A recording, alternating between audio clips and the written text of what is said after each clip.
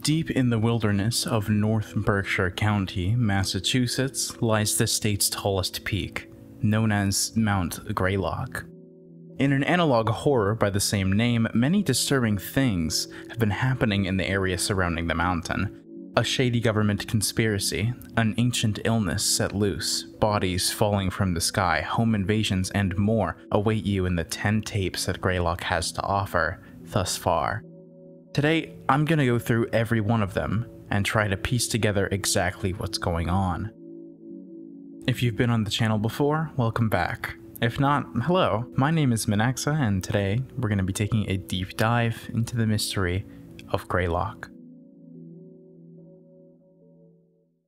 But before we get to the rest of the video, I have to ask you a question. Are you going to have trouble sleeping tonight after watching me cover this scary analog horror series? Well, then you'd probably like today's sponsor, Manta Sleep.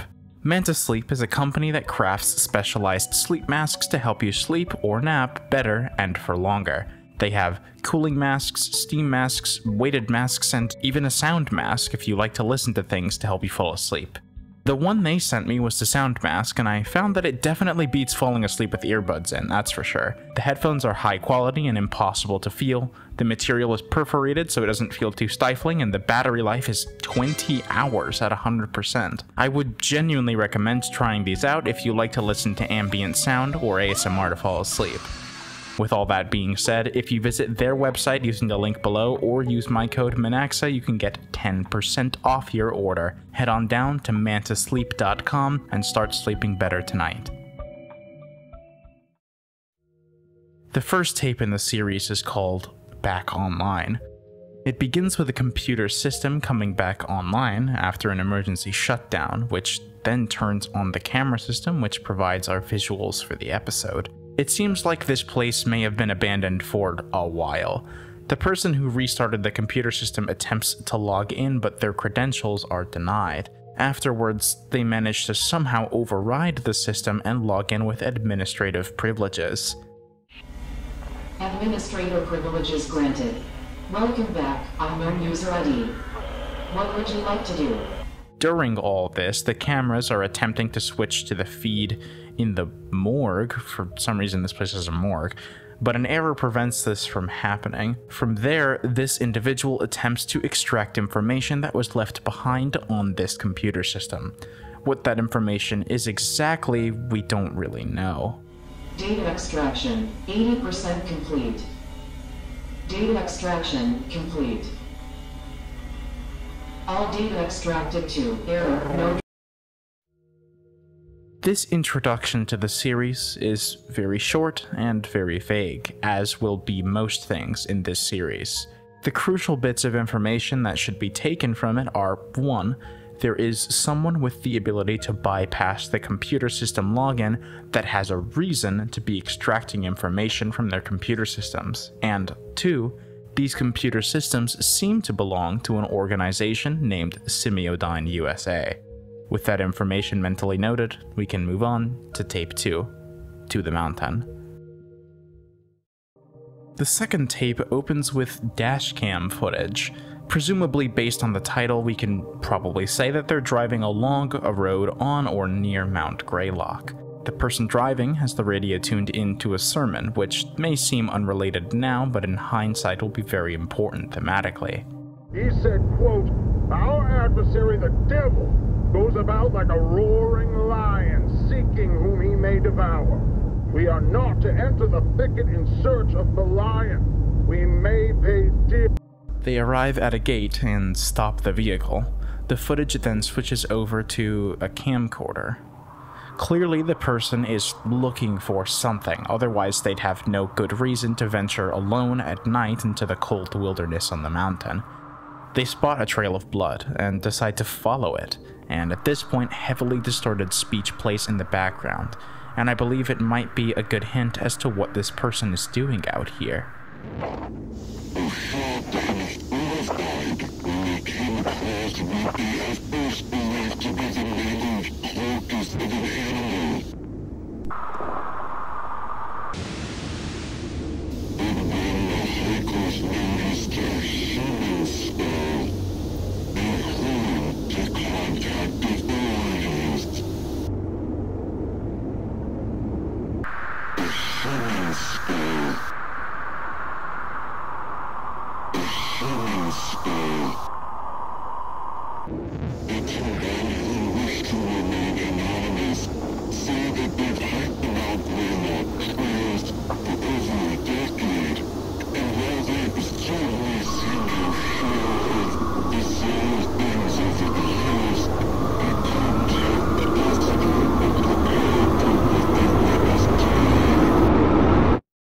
We cut back to the car, and the sermon When continues. We will come face face with the devil himself, whether we Something doesn't feel quite right, though.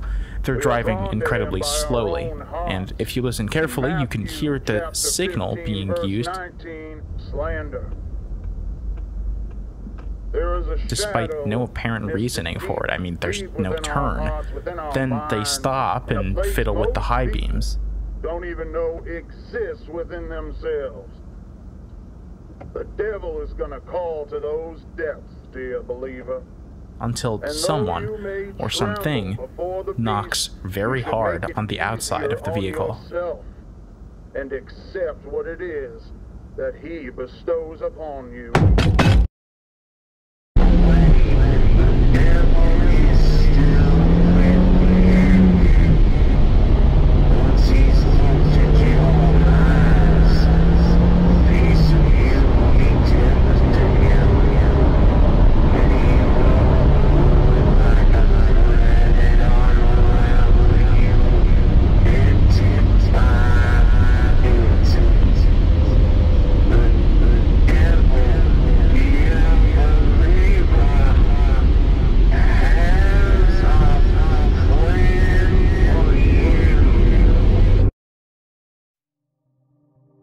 Aside from what I've already pointed out, I wanted to save most of my thoughts on this tape for the analysis at the end. It's very vague, and like I said, most of the tapes will be vague, but not quite as vague as this one. It's hard to place. Even with every bit of information from the other tapes considered, I can't say with much confidence that I have any clue as to what happened. Instead, I think we should go ahead and move on to tape 3 Orientation Protocols. This video is perhaps one of the heaviest in terms of info dump of any tape in the series. Right away, we have a lot of crucial information. For one, this is a government tape, and it's also intended for one individual's lone use, and his name is Alexander Michael Marsh. Keep that name in mind for later. Also worth noting is that this particular cassette cannot be viewed without specialized military grade hardware, and it was manufactured by Semiodyne USA with a date of January 2nd, 1993. From there, the tape labeled TF1 for Unit 13 goes on to congratulate the user for being selected as a testing candidate for what they're doing at Unit 13. Basically, it's a specialized research group collaborating with Semiodyne USA on Project Stargate to further delve into the world of the subconscious and psychic power. In our world, Project Stargate was a real CIA initiative to investigate the potential for psychic phenomenon for military and domestic purposes. It wasn't declassified until 1995, but I assume that's only because the CIA had concluded that it was useless. Go figure. In this universe, though, they found something tangible that they can work with thought forms.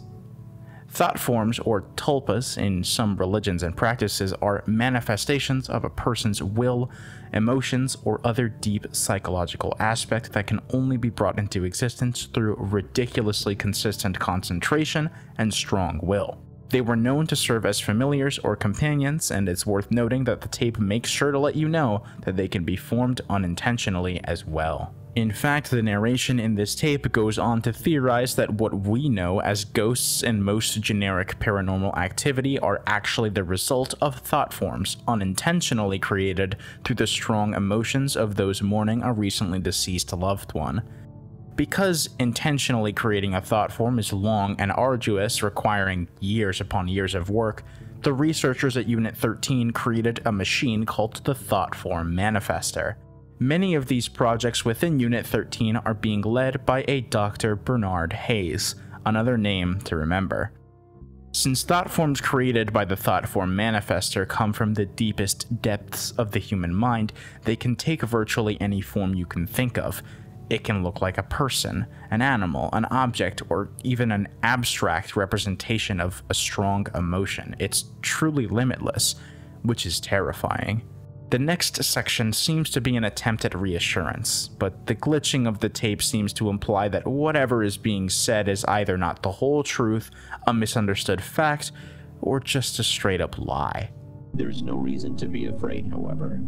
All thought forms are docile by nature, and while they may look or behave in a frightening manner, and though they are capable of making physical contact, they pose no threat to humans. Once your session in the thought form manifester is completed, your thought form will be securely transported directly into a containment chamber. Thought forms are unable to pass through the barrier of and will not be capable of causing you any issues. Finally, it ends on potential side effects, which are allegedly mild. Then we reach the end of the tape. There is a second part to this tape, but so far we have not seen it. What should we make of all this? Well, we were introduced to Semiodyne USA all the way back in the first tape, and this time we seem to be seeing them in their prime, conducting research on psychic beings known as thought forms. Thought forms are kinda like ghosts and can take basically any form. They can be created intentionally, unintentionally, or by force using the thought form manifester. We also have two names to keep track of Alexander Michael Marsh and Dr. Bernard Hayes. Finally, it's worth mentioning that this tape must be given to the individual Alexander in 1993 at the earliest, which is gonna end up actually being pretty far on the timeline as far as events in this series go. Now we can ramp things up with tape 4 Unexpected Visitors. This tape is arguably one of the most confusing ones, mainly because I don't understand why the first half is being recorded and arguably the second half as well. However, it seems to be someone outside of another person's house, watching them turn the lights off to go to sleep. Once the coast is clear, the person recording removes the screen from the window and initiates a home invasion.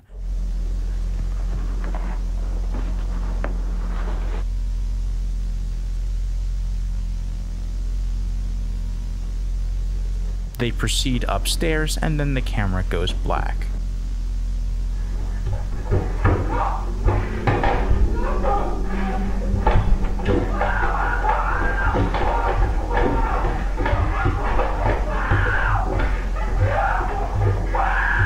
Then we cut forward by an unknown amount of time to see them nonchalantly walking back to the forest and away from the house as if nothing happened.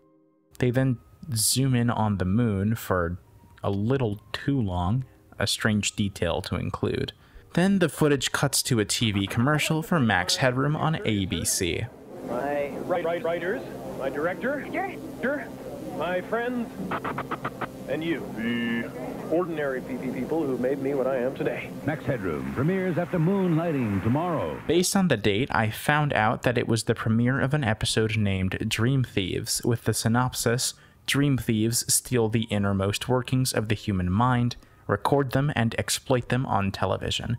It may be a coincidence, but I find it pretty unlikely. It's probably a thematic reference to the Thoughtform Manifester, at the very least. It's also worth noting that this episode went live on October 9th, 1987, which leads me to believe that the events of this episode in particular are taking place on October 8th, but I do have a reason to discount that way, way later if you stick around for the analysis. Unfortunately, the commercial is interrupted by an emergency warning.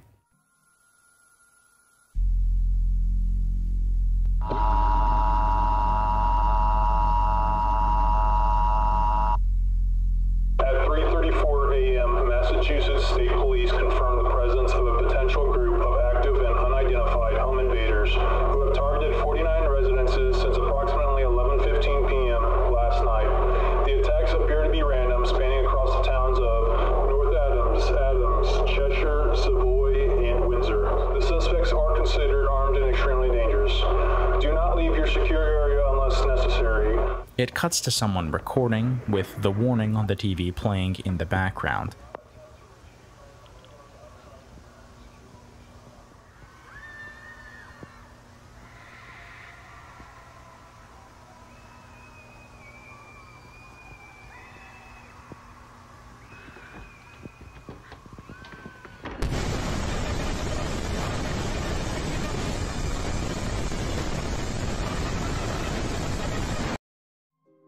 Towards the end, several things were flashing on screen, including some pretty nasty gore that I won't show you guys. However, this picture, which seems to be depicting a face of some sort, is what I want to highlight.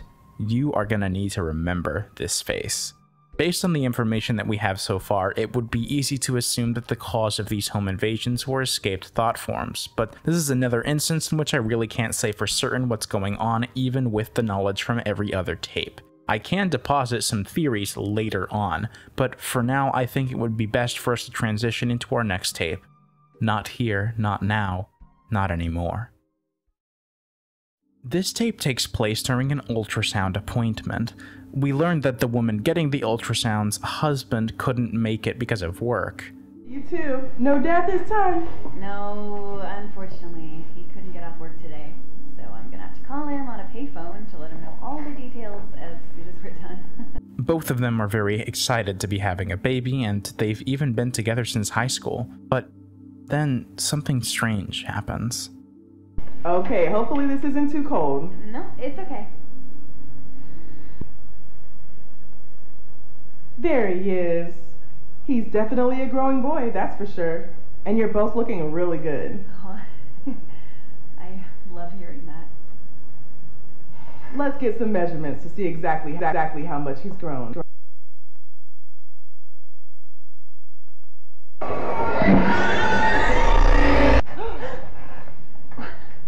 what was that? The doctor, who is equally confused, attempts to play it off by saying the baby should still be there and that she's gonna go grab a different machine. You know what? Why don't we just see if we can borrow another machine, okay? There has to be something wrong with this one. I'll be right back. Um, okay. When she leaves, she seems to start discussing what's going on with another doctor outside who may have had the same thing happen to one of his patients. What are you talking about? No, no, no, no, no, no. No?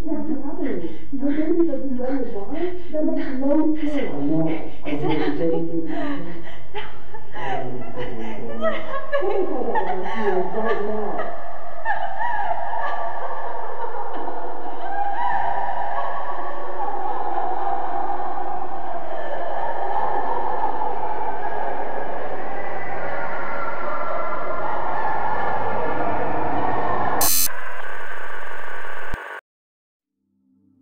For the first time in the series so far, the description actually has something to say. It reads, Do you know what they did up there? These are the consequences.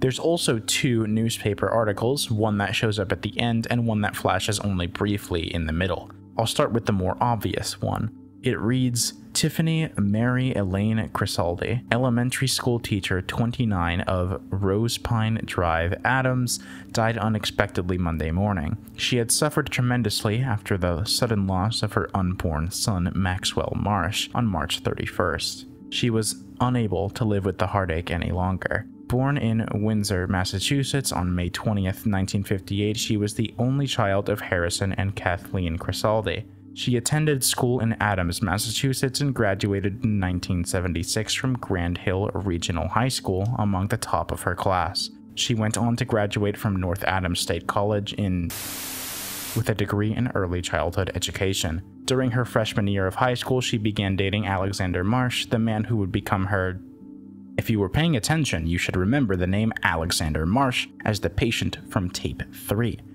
Now we've established a connection between at least two of the tapes. Another important thing to note is that since she died at 29 and was born in 1958, we can extrapolate that these events took place in 1987, which is a year we've seen before. There's also another article that flashes briefly when the ultrasound gets disturbed, and that one reads Bizarre events leave Berkshire in terror, authorities mute. Adams, days after the unexpected events that left an unknown number of people dead and terrified, authorities offering any kind of explanation. Despite the fact that the Massachusetts government engaged the emergency broadcast system, neither they nor any police department while it's been impossible to ascertain exactly what occurred, a number of arrests have been made, with some witnesses claiming that the attacks were by people they never thought would be capable of such atrocities. I was in complete shock, said Theodore K., who happened to witness one of the suspects being, and from there, it cuts off. So, this is clearly referring to the events from the previous tape, the home invasions. However, I think the most crucial takeaway here is when it says some witnesses claiming that the attacks were by people they never thought would be capable of such atrocities. In my opinion, this is a big clue, but we don't have the context we need for it to matter quite yet.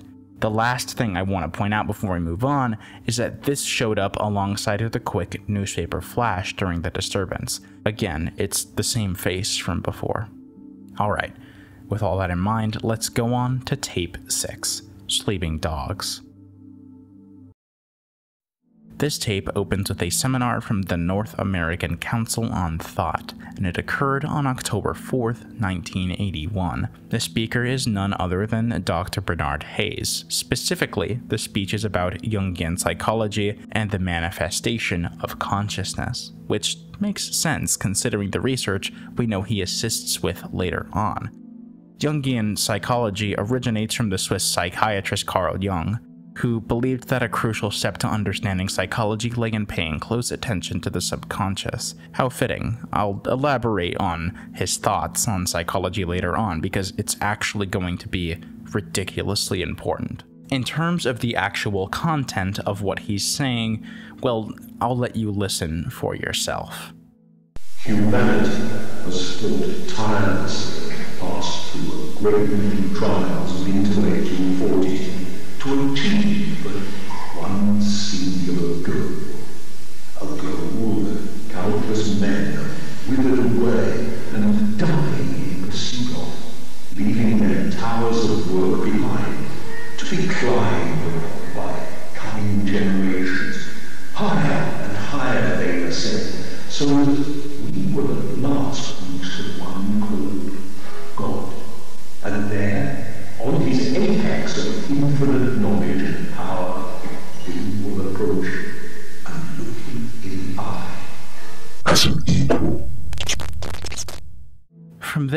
We're greeted by a semiodyne computer system very similar to that from the first tape. This time, we know for sure that this is taking place in 1987 once again. So, just like in tape 1, the required credentials are bypassed by someone with administrative privileges and they're greeted by an unknown user ID. By System Administrator. Greetings, unknown user ID. Welcome to Semiodyne USA's Virtual Message Assistant, for user. Project Director, Frank Porter. Whoever is accessing these files, it's certainly not the project director. So what does this project director have to hide here? Well, he seems to have received several messages over the course of about a week from Paul Morelli of the Morelli Mining Company. The project Frank is responsible for seems to be the construction of a redacted facility, but I have a feeling that we already know what it is and what it's for. Let's hear what Paul has to say. Hey Frank, it's Paul Morelli. We ran into somewhat of an issue today. We came across these tunnels inside the mountain, pretty deep in, but uh, well, this is gonna sound a little crazy, but he told me to call if anything strange came up, and uh, I figured this qualifies. People have been here before. Some obviously man-made shit in there, like carvings and stone. This shit looks ancient, like real old. I took a crew in to look through it, but since part of the tunnels caved in some time ago, we're gonna just have to bust through it regardless. But I still wanted to make you aware of it. Anyways, I'll keep you in the loop. Thanks. Even from just this first message, we get a lot. Apparently, Paul was told to call Frank specifically if anything weird came up, as if he knew something weird would come up. On top of that, finding ancient relics of past civilizations during some random routine excavation feels like a pretty big deal. Paul's next message is from early the next morning saying that some of his workers have suddenly come down with a sickness and that things might be a bit slower than usual. Not too out of the ordinary, right? Well, what is out of the ordinary is that the tunnel cave in he and his crew discovered the day before has been cleared and rigged with lights without his or his night crew's knowledge. He assumes that Frank had something to do with it, but it still doesn't really make sense. To make matters worse, the crew claimed that they saw something in the woods at night. Something like a tall man. Paul assumes it's a random environmentalist who's protesting the fact that they're doing work on this mountain and ends his message to Frank with that before hanging up. Ron trying to cause some shit, but you know, he ain't done nothing, so I told him to keep focused on the project. For safety's sake, we're gonna avoid the tunnel until I hear back from you. Alright, bye now. Message 3. March 25th, 4.56 p.m. The next message is from the evening later that same day. Another person gets sick, this time from Frank's end. One of the members of Paul's team, who used to be an archaeologist, Arnold Rivers, is named and referred to Frank for any additional information on the ancient artifacts that they found in the tunnels. The next day, Paul gets increasingly concerned. Frank, something ain't right here. Crew's getting worse, more sick. I, I feel okay so far, but I, I don't know how long that's gonna last. I saw that thing the guys have been talking about. Last night, stalking around in the tree line. I, I swear it had a face. Anyways, just, just call me back as soon as.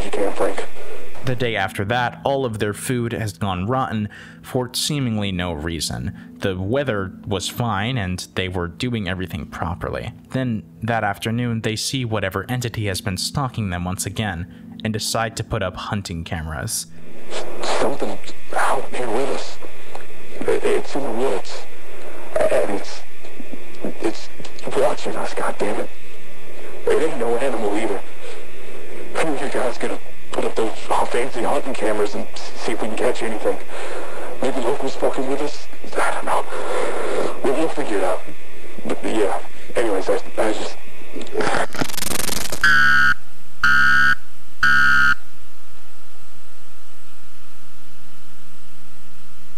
Message 7 doesn't seem to have gone through properly, but the system glitching does allow us to briefly catch a glimpse of what this project was for, and just as we thought, it's the construction of the Unit 13 facility.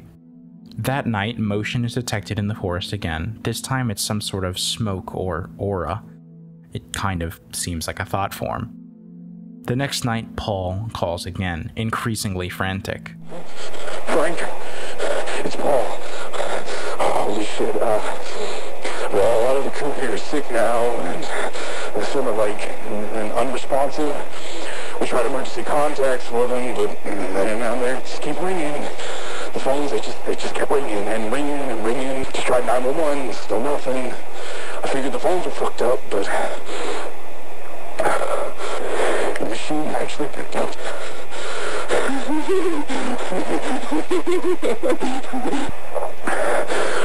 I think I caught whatever's going around. My skin, it feels feels tight. A lot of pressure behind my eyes. My my teeth feel like they're, they're humming, vibrating. You know what? This all started when we came across that tunnel. I feel like it, I need to figure out what's down there. I think whatever's down there could help my crew, but most of all, I I feel like something really bad's gonna happen if I don't go down, so I'm going down tonight.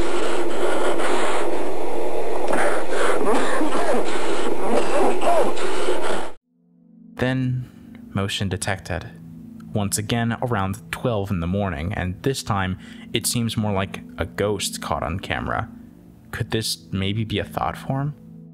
Let's hear Paul's final message.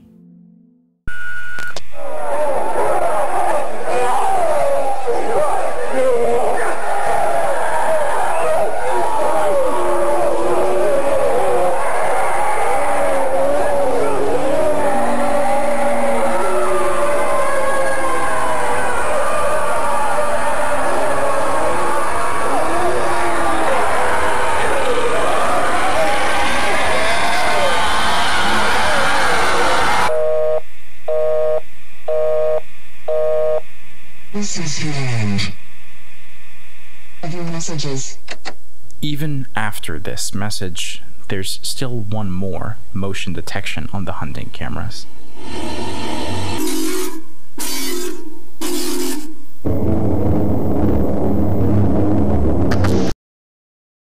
There's that entity again. The description this time reads There came a red flash as it pitched from heaven. Corruption wrought truth. 0707. Even though I personally think this tape is one of the more confusing ones, I will try to give some brief thoughts on it. I feel like Frank knew the miners would be finding something under that mountain. I mean, how could he not? Seeing as he asked Paul to call him specifically and may have even sabotaged all of their phone lines intentionally, leaving only his open. It also seems as if the crew were physically unable to leave the site, being stalked by the monster or entity and having all of their food rot for no reason. It really seems as if they were sent in there to die. The title Sleeping Dogs is likely a reference to the phrase let sleeping dogs lie, which basically means that you shouldn't interfere with an already bad situation because you might just make it worse. And I think this is trying to tell us that perhaps these tunnels are something that shouldn't have been meddled with, but regardless, we can only theorize. Let's move on to tapes 7 and 8.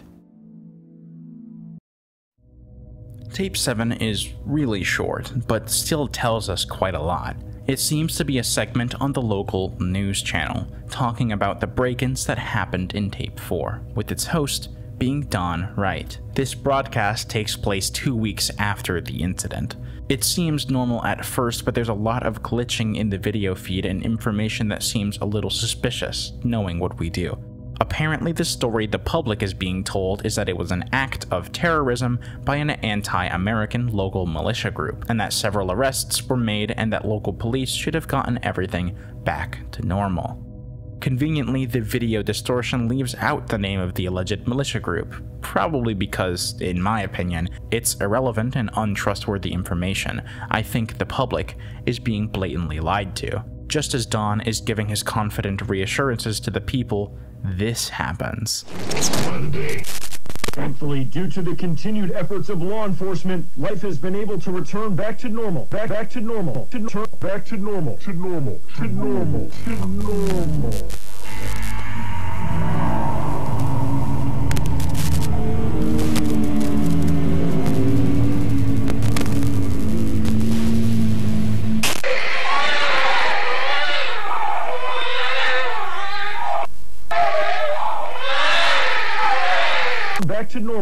residents of Berkshire County.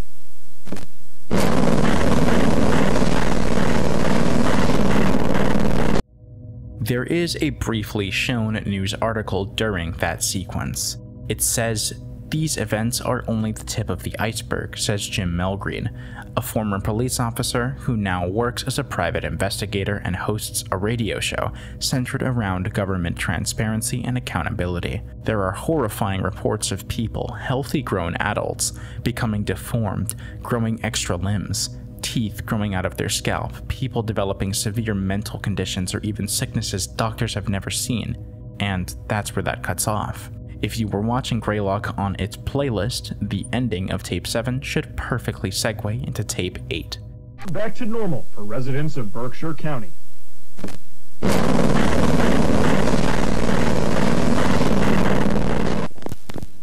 It starts with a screen of the channel experiencing technical difficulties, which then transitions into a conversation between one of the channel executives and two of its producers. I think it would be best if I just played this part on its own. Well, that broadcast went completely tits up, didn't it? I've been getting chewed out by our asshole CIA liaison for the past two hours. What the fuck happened? Our engineers believe that the signal was hijacked before even reaching the transmitter, but once we started receiving phone calls from viewers, we switched to a backup transmitter. But by then, the hijacker had already said everything they wanted to say, hadn't they? Mm, yes, sir. Don, where the fuck is he? I cannot get hold of him, and he needs to get in here and read a statement to help clean up this fucking mess. Uh, well, we've been trying to reach him. We've called him multiple times. We've tried his pager. We've asked around to see if anyone's heard from him, but nothing. You've been to his house? Uh, well, no. I just thought that maybe he'd be upset if I did that. so- Get in your fucking car and go to his fucking house. I don't care if you kick down his front door and drag him here by his ear. You bring him into the studio. Do you understand? Yes, Mr. Rosenbaum. Of course, I'll do that right now. There's some real powerful people depending on us right now. They need us to manage the response to these events, to let the public know what's going on, and the last thing we need is it going wider than it already fucking has. So do what you need to do, or I'm gonna replace you with some producers who actually know how to produce a fucking show!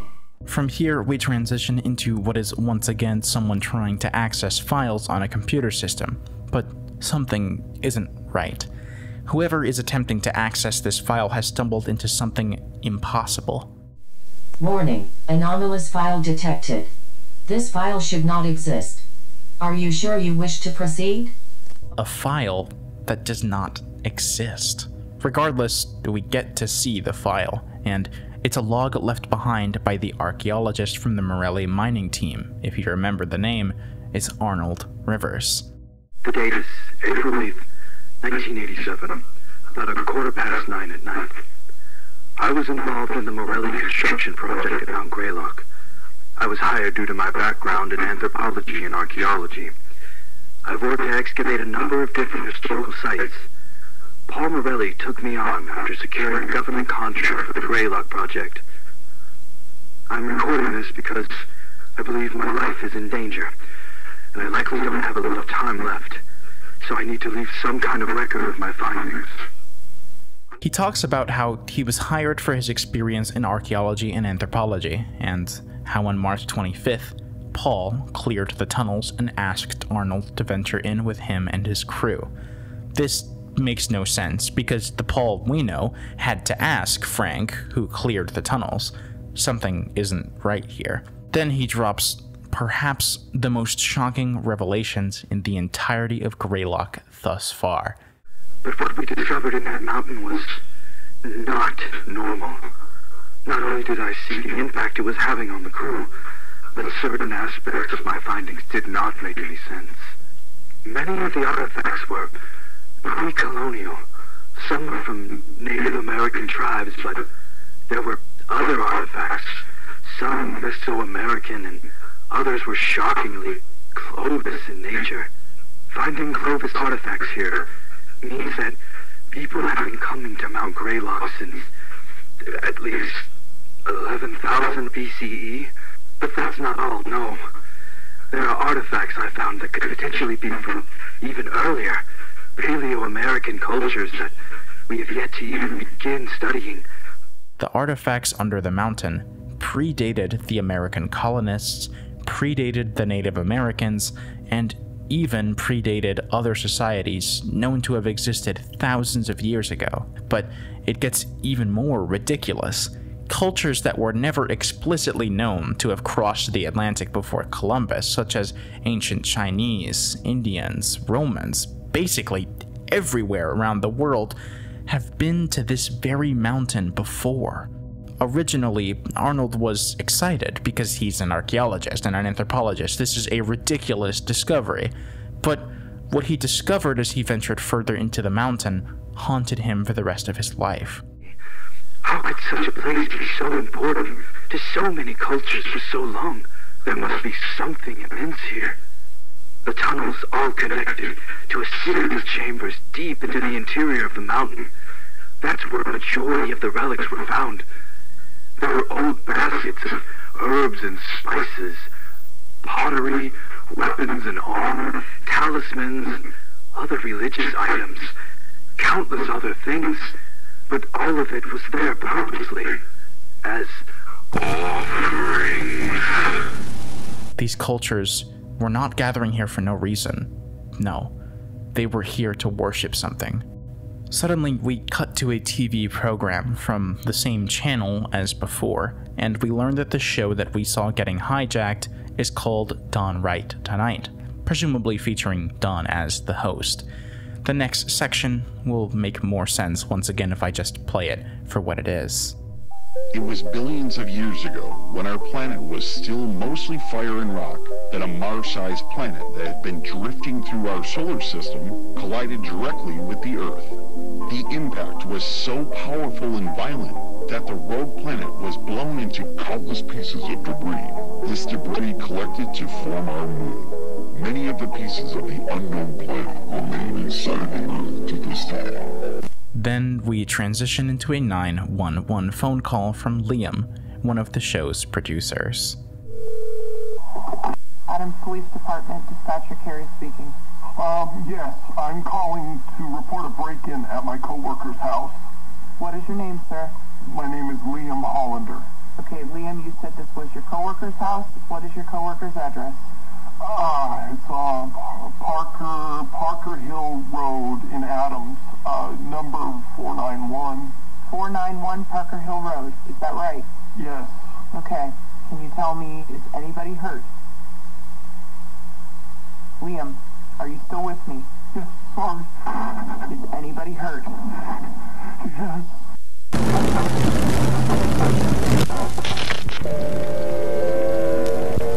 Suddenly, we're taken back to Arnold's logs. He continues describing his findings, how he found evidence of massive amounts of animal and human sacrifice. Arnold, despite not getting sick the same as the other workers for whatever reason, has been noticeably impacted emotionally and mentally by the discoveries that he made. He even tried to reason with Frank, the project director, who disregarded his concerns entirely. When Arnold said he would not be coming back to the project, Frank insisted that he does, offering a raise and even trying to convince him by saying he'd be responsible for the biggest historical finding of all time. Arnold, who valued his continued livelihood and sanity above fame and fortune, refused a second time, especially because he knew what happened to the other sick workers. And now it's time for us to find out what happened too. Morelli Greylock event, Group C, Survivor data. Some were luckier than others. Most of them were changed physically, though a few were still recognizable at least. Almost all of them were negatively affected mentally, though, from violent tendencies to paranoia to manipulation to straight up cannibalism, arguably the worst of them. Previously, Scott Oakhurst attacked and consumed six staff members on April 6th of 1987, all the while laughing maniacally. For those who met fates such as that, the physical changes were so massive that they started straying from what you could even define as human. Quarantine or straight up euthanasia was a common suggestion for many of them. For some odd reason, Frank was eerily quick to accept Arnold's second refusal. He wished him best of luck on future endeavors and then hung up. Obviously, this instilled a massive sense of paranoia in Arnold since it seemed pretty unlikely he'd be allowed to live with the knowledge of everything that happened during the project. He describes some other stuff that's been going on too. These things that have been happening around the mountain, the home invasions, the dead bodies that fell from the sky over Cheshire, the pregnancy phenomena, so many other unexplainable things. They all must be related. And I've been trying to figure out how. He's attempted to connect with a certain local investigator about what's going on, and that might be our Jim Melgreen from before. But Arnold also noted that his front door had been left unlocked when he came back from getting groceries the other day, instilling even more paranoia and fear into him. After checking all of the light bulbs in his house with ridiculous scrutiny after the fact, he couldn't find anything no microphone or camera that's hidden somewhere, nothing. At this point, Arnold was able to point out his slipping sanity in the third person, but he's glad that he was at least able to record everything. Thank God for that. I'm glad that I put all of this into a recording. Perhaps that was what I needed to snap me out of this. Honestly, I feel much better just talking about it. this can't be. Oh my god, that's the basement door. No, no, no, no, no, no, no. Camcorder. Oh, where's the damn camcorder? Here it is. Thank God. They're here. I'm inside my bedroom closet. I'm going to keep the tape recorder running, and I'm hiding in here with my files. If something happens to me, and you find any tapes or files somehow, please bring it to the investigator, Jim Malcolm of North Adams. That goes for this video footage as well.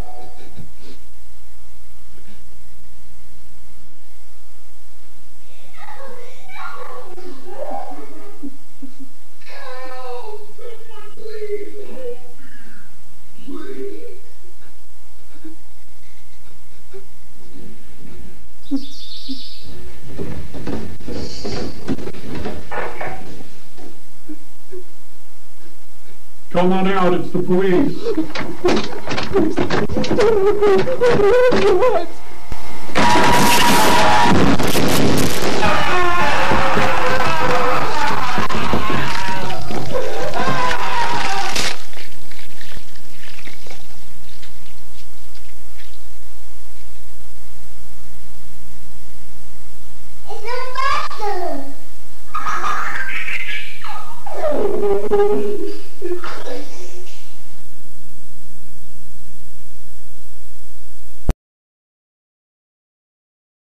Here's that damn entity, this weird masked entity again. This tape was the longest by far, and it gave us a hell of a lot of info.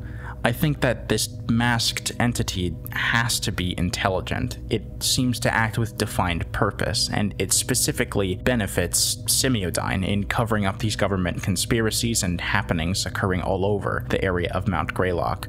Clearly, there is a lot more to this that we're not seeing. I can't even give a clear reason as to why Don was killed and by who, though it seems to be from a group that knows that the public is being manipulated and doesn't take too kindly to that fact. The biggest revelation that was made was definitely the clarification on the tunnels within the mountain and what they were used for. I think I have a rough idea as to what it might be trying to tell us, but that I'll have to save for later. For now, let's go ahead and move on to tape 9 Trojan Technology. This tape begins with a file being recalled on the same computer system we've heard multiple times at this point. It then shows us what I think is a vintage radio broadcast advertising the National Access Initiative. I think it's no coincidence that the logo of this radio station looks similar to that from the TV station that we recently saw. This National Access Initiative seemed to have been set into place during the presidency of Lyndon B. Johnson, which was during the 1960s. The goal of the initiative was to place critical electronics such as radio, television, and phones into every American household, regardless of whether you were wealthy or not. The idea is great, in theory. Let's give everyone a means to communicate, even if they don't have the money to buy the electronics. In the real world, President Johnson was famous for attempts to expand public broadcasting, his focus on civil rights, and overall trying to make life easier for those who lived in poverty. So this whole thing is pretty appropriate. Unfortunately for those in the Greylock universe, the electronics packages were being provided by Semiodyne. The tape goes out of its way to describe them as being world-renowned technology manufacturers. The video then briefly cuts to a newspaper showing that President Kennedy actually denied Semiodyne's original push for the initiative, before then switching to a newspaper detailing his eventual assassination and the swearing in of President Johnson. Then, we see what looks like security footage of the inside of someone's home in July of 1966. In fact, we get to see quite a few of these, actually, including someone sleeping in their own bed being watched. Something interesting to note is that these all have different time zones, meaning these are completely different parts of America, which is implying that the reach of this thing is insane. They're spying on people in the entire country. After this, we get an interview from then president of Semiodyne USA, Percival C. Rothwell. The things that he says are pretty convincing. Basically, his speech summarized is him describing how people who can't afford modern electronics are inadequately prepared to respond to emergency situations relative to many others, and that the goal of the initiative spearheaded by Semiodyne is to rectify that disparity. However, partway through his speech, it switches to him talking about something else. What it is we're working on at any given time inside Semiodyne. And for decades, we've kept it all quite secret. But I'll let you in on a little something. I'm here. Kennedy didn't go for it. But you assured me he was amenable. Or was that just more of your bullshit? No? He's gonna fucking expose our whole plan for the NAI program. The meeting couldn't have gone worse. If Nick thinks he's gonna expose Semiodyne, he's got another thing coming. But we're not the only ones he's pissed off lately. After rejecting Operation Northwoods, and then that executive order involving the Federal Reserve, There are a lot of snakes in the grass. And it's about time that Kennedy got bit. So, we don't know who he's talking to, but this exposes a lot of what actually happened. Semiodyne either directly or indirectly orchestrated Kennedy's assassination in this universe. The mention of Operation Northwoods, which was a real proposal to frame the Cuban government for acts against the US that would warrant starting a war, is actually pretty interesting. But the plan wasn't declassified until November of 1997. What does this mean? It means that Semiodyne has had a deep running connection to the American government for a lot longer than their projects in earlier tapes, like in the 80s and 90s. He describes how the only reason humanity got this far is because they stood strong together, which is more pretty solid reasoning and campaigning for the initiative. Meanwhile, more surveillance footage is intercut in the speech. At 610, a frame flashes that shows us a different image of the masked entity that we've never seen before. It has no cracks, and it's red. Not sure what to make of it, but it's pretty interesting. The next instance of surveillance footage has skipped forward by decades, October 1990. I think this tells us all we need to know about the NAI program. The next one skips to 1993. Then, the applause, followed by a picture of many cloaked entities wearing masks not dissimilar to the one we're already familiar with. From there, the radio broadcast continues to describe how it will be first made available to crucial infrastructure such as schools and police departments, and that it will take time to arrive in certain areas. Before it has time to elaborate on this any further, we cut to more surveillance footage. This one is dated December 29th, 1994, which I think ends up being the farthest date that we get to explicitly see. Shortly after we start viewing this surveillance footage, an unidentified creature rises from the shadows in the corner of the room. Hello?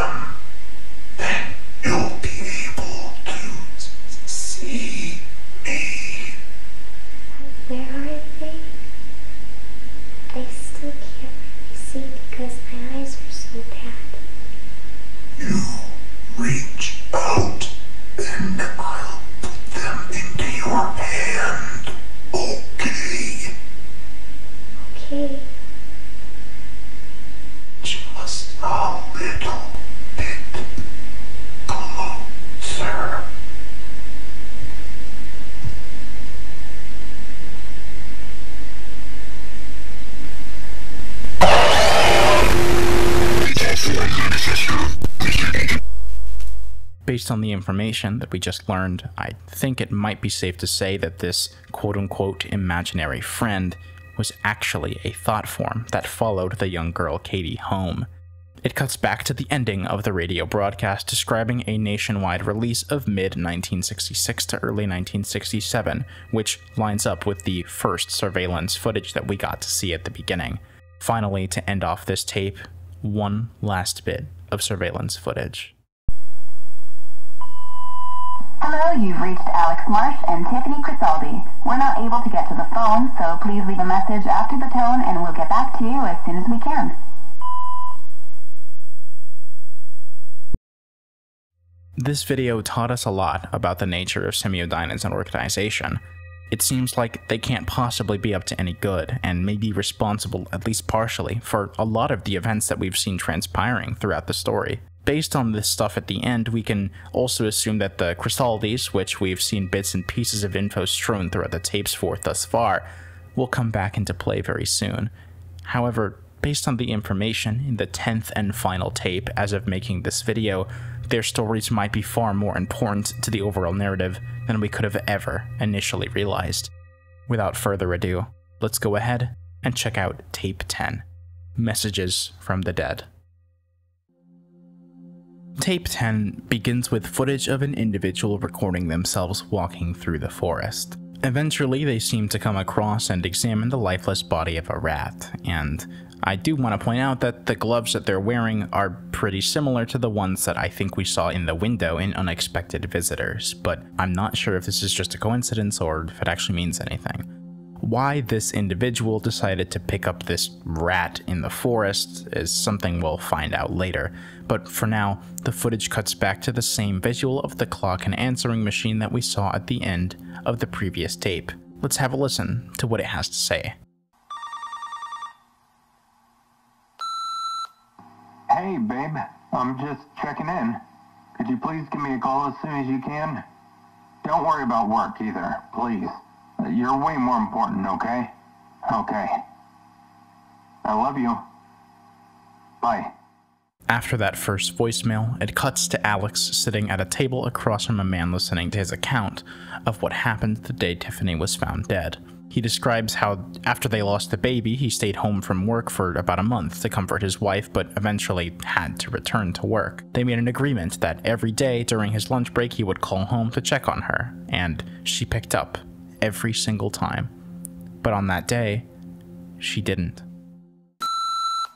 Tiffany, babe, uh, still haven't heard from you. Hope everything's okay. You're probably just busy doing something, but We've been talking every day since I've been back to work, so, you know, just, I'm getting a bit worried, so please call me back, okay? We then briefly get to see what looks like some sort of ritual. At this point, Alex's concern has been elevated enough for him to go home early and check on his wife, Tiffany. Then we hard cut to a screen showing a login prompt. The background reads Office of Chief Medical Examiner, Massachusetts. Then we get the report. Dr. Heinrich Albrecht, Medical Examiner, Westfield. May 19th, 1987, 3.23 p.m. Intake report for Tiffany Elaine Marie Crisaldi. For some reason, whilst her description is being read out, the playback has a difficult time settling on her age for an unknown reason. This is interesting because it seems to settle on 28 when the article from way back said 29. For whatever reason, Tiffany's age has discrepancies. Immediately after, we see a terrifying visual glitch, which also shows a scripture in the caption box. Adams Police Department. The scripture, Revelations 9 6, reads as follows And in those days shall men seek death, and shall not find it, and shall desire to die, and death shall flee from them. I'll talk about what that might mean a little later. After that, we get to see what Tiffany's body actually looks like, and it's really unusual. A black substance leaks out from her eyes and mouth. The main issue that caused the need for this specialized autopsy was the markings made on her stomach.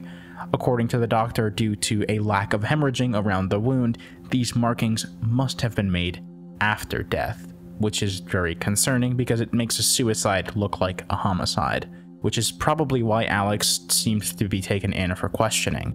Before we get time to process all of that information, we cut to a therapy session with a younger Tiffany. So, Tiffany, you just had your sixth birthday, didn't you? Yeah, Did you have a party? yeah. How was it? Good. That's good. You're awfully quiet today. Are you seeing them again? Yes. You see them right now. Yes. Where are they? Where are they, Tiffany?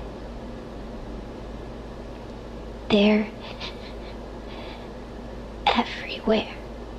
It seems that this section is recounting a therapy session that Tiffany had when she was much, much younger, at just six years old.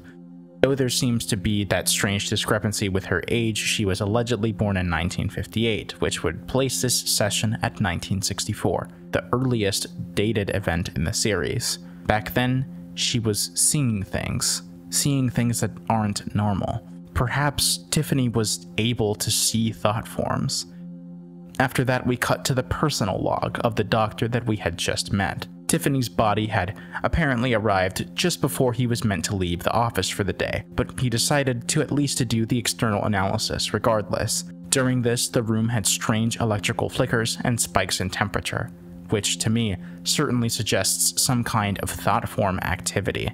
Something else strange also happened while he was working with the body. I wanted to refrain from mentioning this part whatsoever, but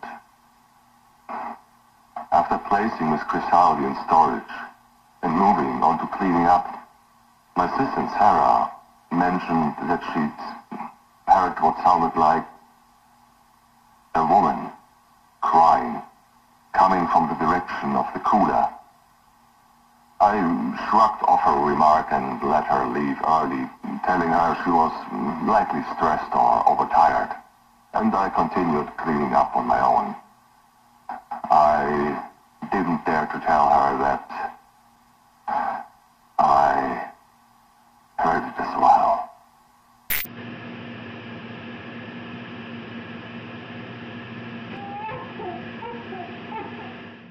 Then we cut back to Tiffany's therapy session once again. In this part, the doctor seems to be using a type of hypnosis based therapy in order to help Tiffany work through her problems, asking her to describe her house and front yard in great detail. He slowly instructs her to advance further towards and then into the house, and then upstairs towards her bedroom. It's actually a pretty soothing and calming experience to listen to.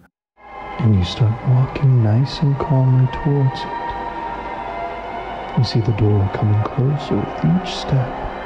You can see the pink flower stickers that you put on it two years ago, and the small wooden sign that reads Tiffany with the little blue bird in the corner. Step,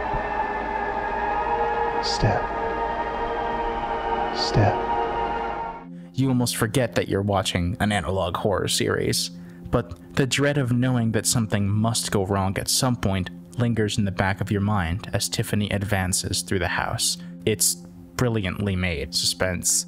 I believe this may be the doctor's attempt to pry into Tiffany's unconscious mind to learn more about why she's having the issues that she has. If you remember when I mentioned Jungian psychology previously in the video, this type of therapy isn't too detached from his ideas. The doctor makes specific attempts to describe how everything is exactly the way that it should be, with the only difference being that Tiffany is alone in the house rather than surrounded by family as she probably is normally. You feel comfortable. You feel safe. You are alone. It isn't until she gets into her upstairs bedroom and finishes scanning her surroundings that she notices the first inconsistency in this entire mental exercise. You walk into a room, and that's when you can see something different that's never been there before. Tell me what you see. It's. It's a door next to my window. That's right, it's a door. Walk to the door and open it. I'm scared. It doesn't matter if you're scared. You must open the door. Once this strange door in her mind has been opened, the video feed glitches and the music fades, and the uneasy tension that's been lingering the entire time starts to truly set in. Small room. Somebody's in there. No, Tiffany, you're alone. No. No, There's someone here. He's facing away from me. He's standing and tall. He's very tall. Tiffany, you are alone. There's a TV. The screen is all fuzzy, and the tall man is watching it. Tiffany, I want you to focus on removing the man from your mind. When I snap my fingers, he will be gone. You will be alone. The man's shaking. His body is cracking. Okay, Tiffany, I'm going to count down from five. When I snap my fingers, you will return to the real world. Five. You're feeling more awake He's now. turning around. Four. Everything around you is becoming He's hazy. looking at me. He sees me. Three, Tiffany, you can feel the chair you're sitting in again. Two, everything around you fades to the blackness behind you. One, full control of your body. Zero, you're awake, Tiffany. You will return to reality now. We see a desk. If you remember from the beginning of the tape, there was a person searching the forest who found a rat corpse, or maybe it's a prop, who knows. For whatever reason, upon using scissors to cut into the rat, a tape is retrieved.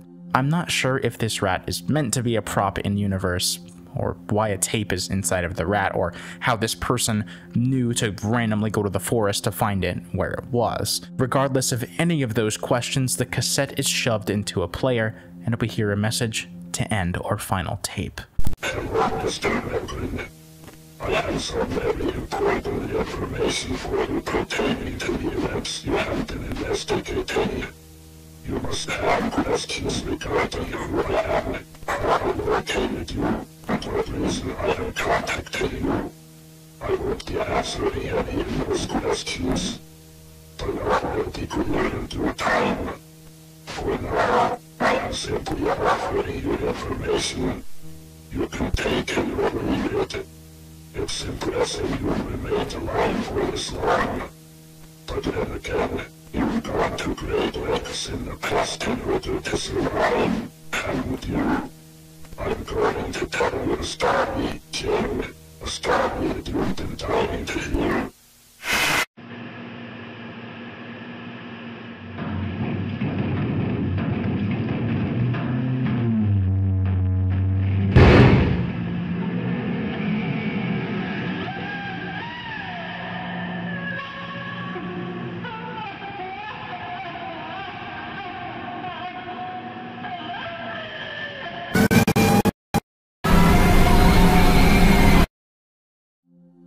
Finally, the description reads The serpent's right eye was plucked from his head and was transformed, and engulfed in a great flame that was fashioned to provide light for all of creation. And lo, it was made to nourish the earth, so that life might thrive and flourish from it. And that is where Greylock, as of now, ends.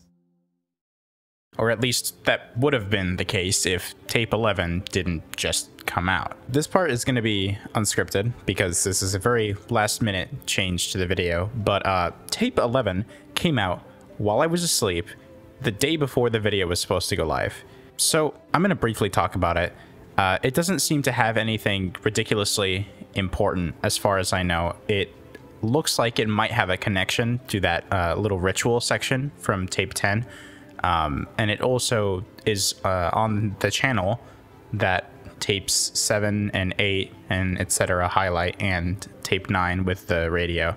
So just wanted to briefly talk about that. I'm not going to dedicate a huge portion to it and from here we're going to go on to the analysis and the analysis will not be considering that video because this video was supposed to be done. So sorry about that, Alright, well, now we're at the part where I have to try to figure out what's going on.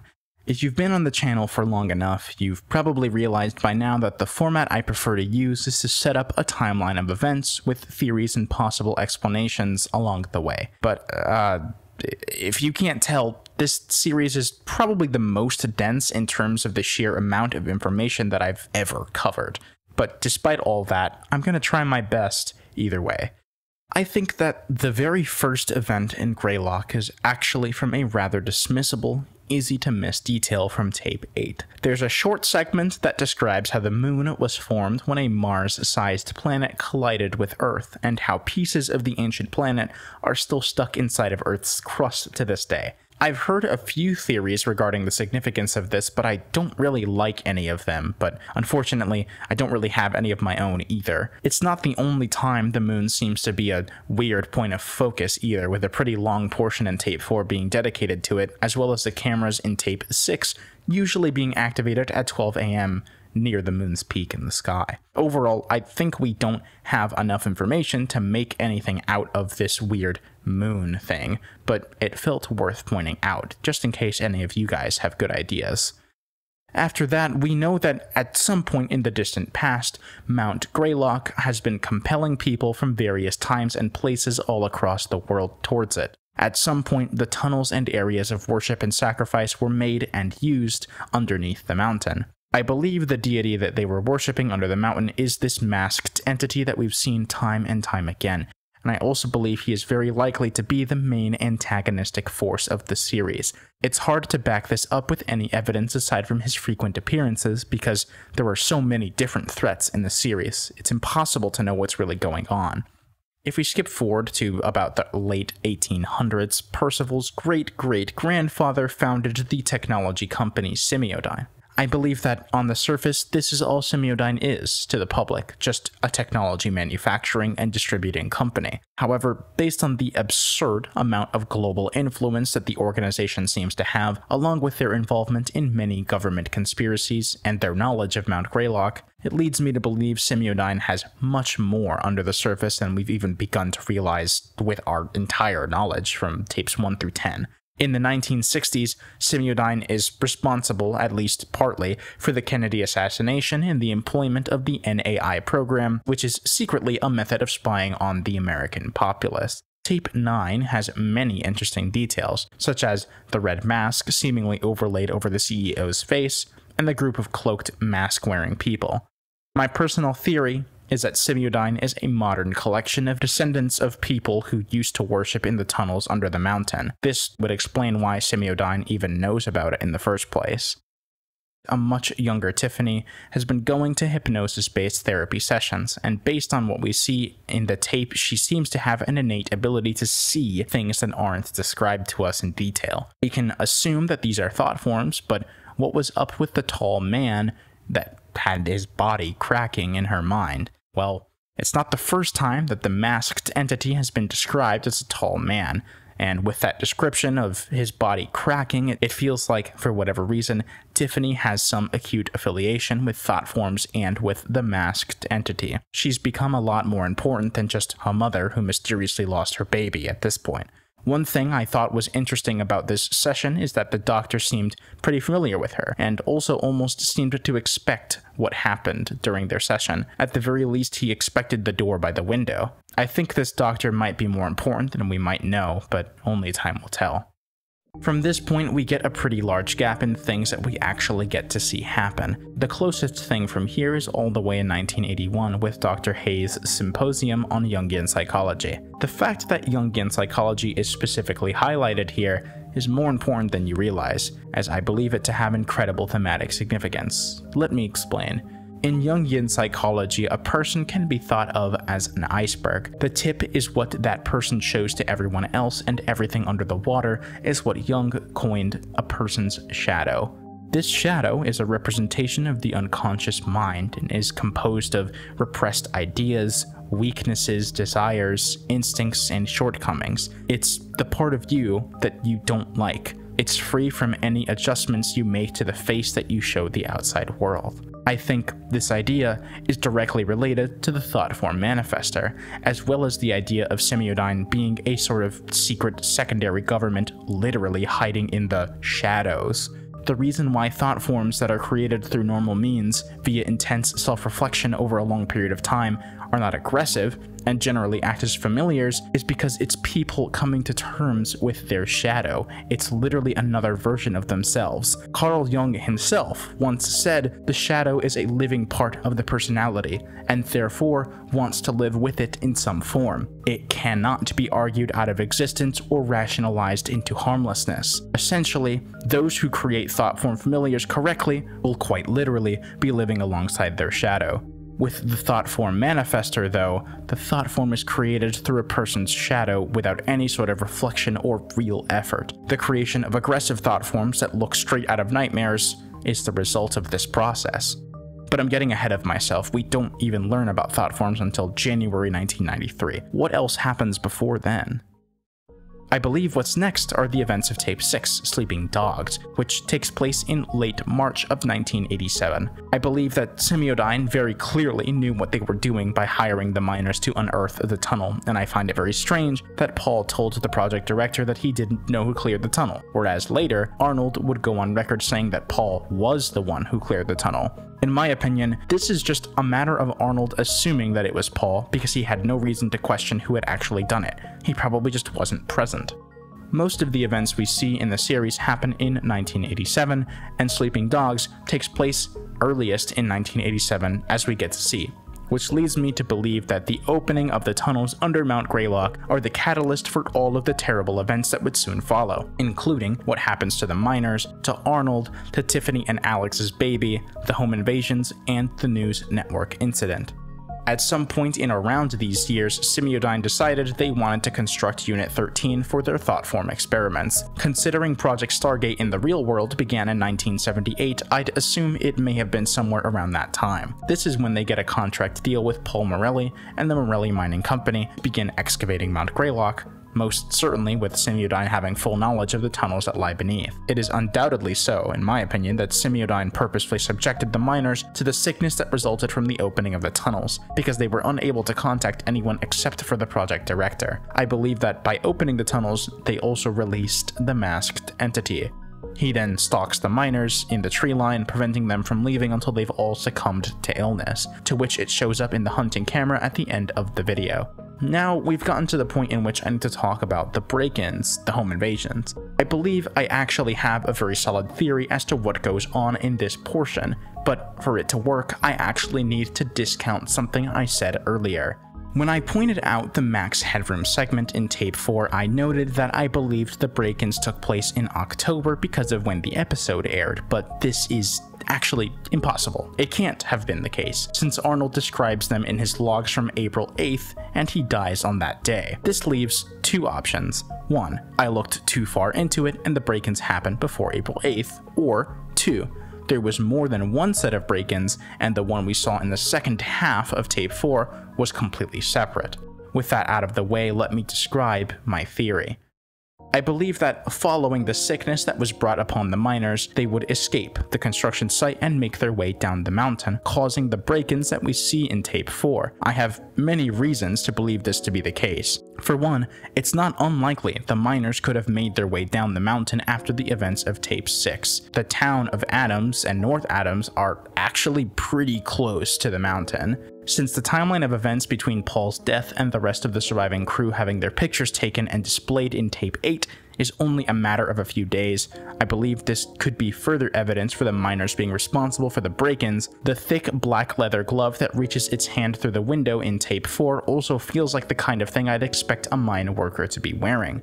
And the most crucial bit of evidence, in my opinion, is when the newspaper said people that were doing these break-ins were people that they would have never expected to commit such atrocities. Overall, the timeline is too short for it to have not been them, in my opinion, at least that's how I feel with our current information. From there, citing the newspaper, multiple arrests were made, and the sick miners were all contained at a location named Site B651. The symptoms of the miners were archived between April 2nd and 3rd, with the cannibalism incident happening on the 6th and Arnold's death being two days later on the 8th. Quite a few things have to have happened between Paul's first message and Arnold's death. Moving on to Tiffany, we have an exact date for when the baby was lost, March 31st, and it coincides almost perfectly with the events of Sleeping Dogs. Based on Jim and Arnold's wording, it seems that many others also lost pregnancies in this time. Two weeks after the home invasions, the local government goes out of its way to assure everyone that everything is back to normal, with Don Wright's show on Channel 13. This is also when we get to see Jim Melgreen's first appearance as a private investigator in a brief newspaper appearance, where he talks about government transparency, which is the exact opposite of what we're seeing happen while Tape 7 plays. We know that some third party interrupts the broadcast, and it clearly isn't aligned with Semiodyne since it directly contradicts their goals. But we also don't really know who they are. From there, Don's coworker finds him dead in his home, and we don't know who did that either, but it's probably the same person who interrupted the broadcast, considering that the way that Don's face looks is pretty similar to the way that he's found dead in his bed.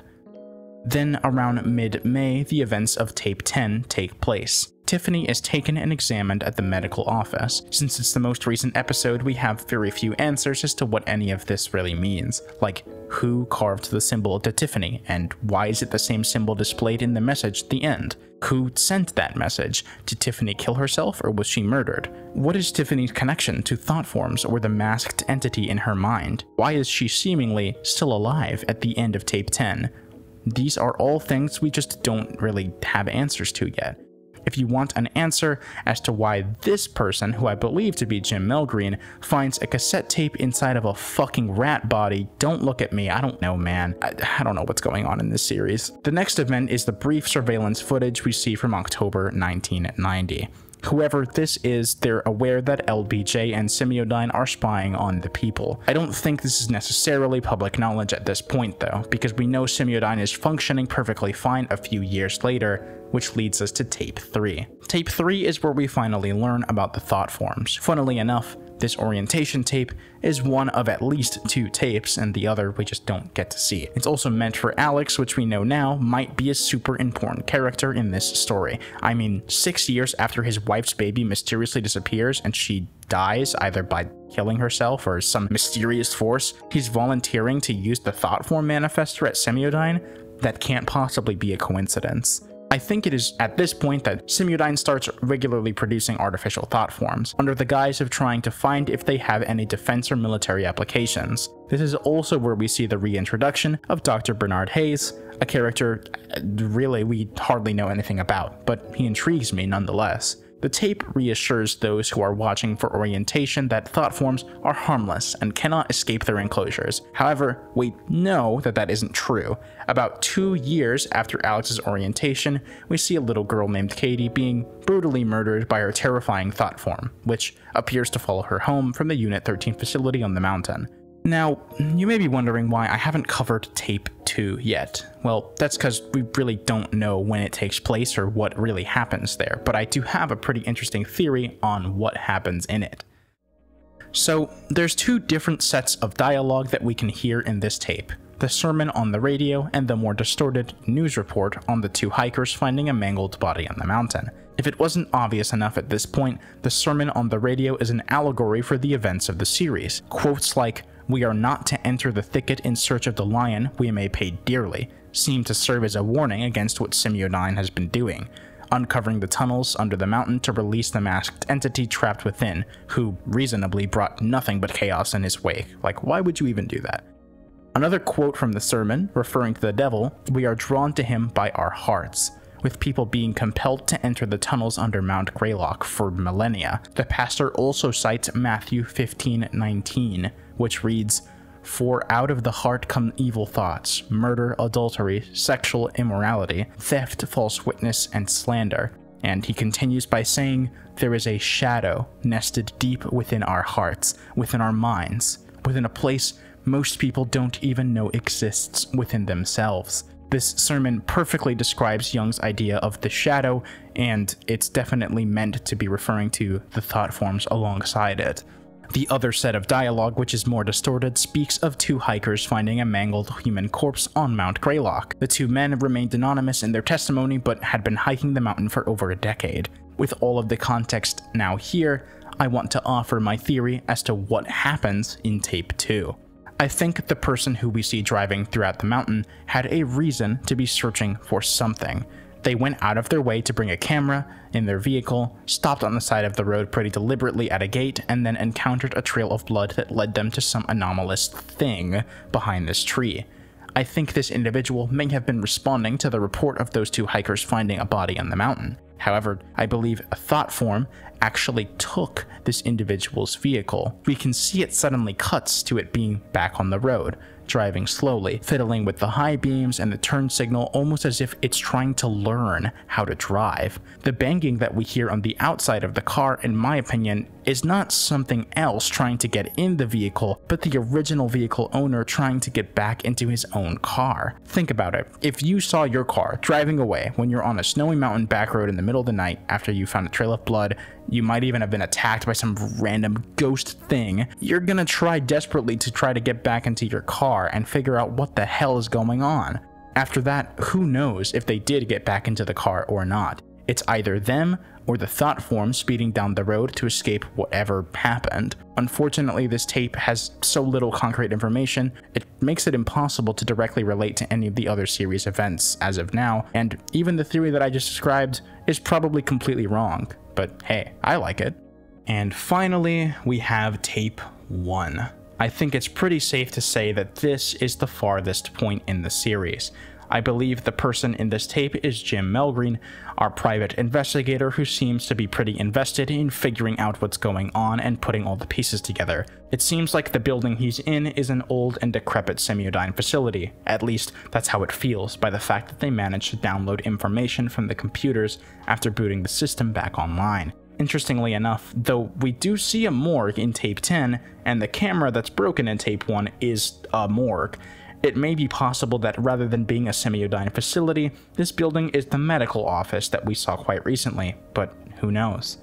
I believe this is as far as we go in Greylock so far, and although there's an overwhelming amount of information, the story still remains a mystery.